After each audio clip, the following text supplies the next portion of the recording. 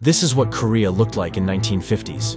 And as of 2023, South Korea is one of the world's most developed country in the world, with a lot of high-value adding industry. But this was not always the same. The real Korean miracle happened a few decades ago. And this came with a hefty price, and Koreans are still paying it. In South Korea, there are more people dying than being born. It has the highest suicidal rate globally. And on top of that, its population is shrinking, shrinking way faster than any other developed country.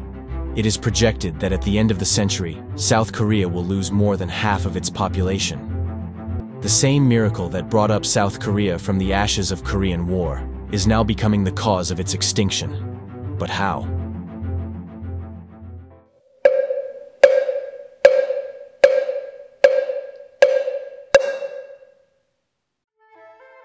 Most of the first half of the 20th century, South Korea was a colony of Japan.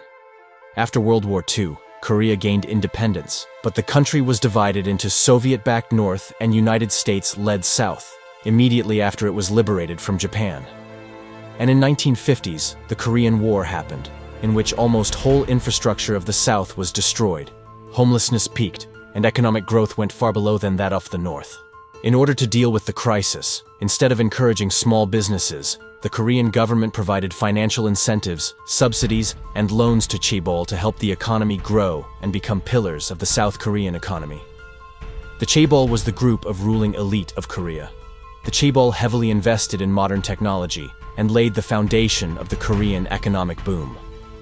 The global cooperation were made and soon started to produce almost everything, from modern-day smartphones to colossal container ships. But this needed qualified and skilled workforce, and this is the time when the education enthusiasm in Korean youth started. More and more young people wanted to be educated, and government happily provided high-quality education and facilities to the public. Just a few decades ago, only 22% of the population could read and write. But soon, it became the most educated country in the entire world, where more than two-thirds of young people have university degree. And this is when the Korean culture of hard work was created by the Chaebol during the economic boom. These ruling elite started systematically indoctrinating their employees with complete and absolute loyalty to the company, and that the company comes first instead of your family and even yourself. This is how the Korean economic miracle began with colossal companies and cooperations that invest heavily in modern technology, education fever which created a societal pressure on students, that if they don't have a university degree, they are worthless in the society. And lastly, the extremely exhausted work culture. But if all of that was doing good with the economy, then where is the dark side of it? Before further moving on, if you have watched this video so far, then please hit the like and subscribe button to support the channel. Initially, it all seemed good. There was money coming in the country, and the economy was growing. The Chaebol expanded their businesses in many sectors, and now has control over 85% of South Korean GDP and just Samsung alone makes up almost 20% of the entire economy. But gradually, these chaebol learned the way to grow without hiring more and more people, and they only represent 10% of the jobs in South Korea. In the past, the demand of qualified and skilled workers increased due to rapid expansion of economy. But now, the demand is decreasing day by day as there are more and more students who are graduating from the university due to the education fever, and it's extremely difficult for young Korean graduates to find a job. These young students do not want labor-type work, because these types of jobs have a low pay, and they are looked down in the Korean society. In a society which is so much obsessed with the success in education, that's obviously all more frustrating, which resulted in high unemployment in the country.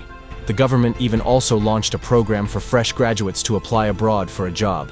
And due to all of this, South Koreans don't want to have babies anymore, as the cost of living skyrocketed and high unemployment in the country. Developed countries usually have declining population, and it's a phenomenon that occurs in every country, who has transitioned from an agrarian to rich and developed society. But South Korea takes it to another level. The fertility rate, which defines that how much babies a woman is having, is 0.81, which is far below the average population replacement rate, which is 2.1. It means if a country wants to maintain or stabilize its population growth, then the fertility should be at least equal to 2.1, which is 2.5 times less in South Korea. This is a population projection chart in South Korea. As you can see at this rate, at the end of the century, South Korea will lose half of its population due to population decline. A survey in 2020 shows that 42% of South Koreans in their 30s were not married, and 4 out of 10 households in the country are single-person households. And women are also less willing to get married. Divorce is also a taboo. Women in South Korea face some discrimination. This makes women more hesitant to get married. And as South Korea is a traditional and conservative society, the country historically maintained a strict policy towards immigration and does not allow foreigners to live in the country. Although it's changing, and the country is now accepting more and more foreigners, so the country can keep its population stabilized. There is also less acceptance of single mothers in the society. In South Korea, single mothers face a lot of stigma and discrimination. According to a report by Human Rights Watch, there are an estimated 20,161 single-parent households headed by unmarried mothers in South Korea. The actual number may be significantly higher, as stigma leads some to conceal their unmarried status. Lack of social acceptance for unwed mothers and their children means they are more likely to be living in poverty and be socially isolated. The role of women in South Korea has been evolving over the years.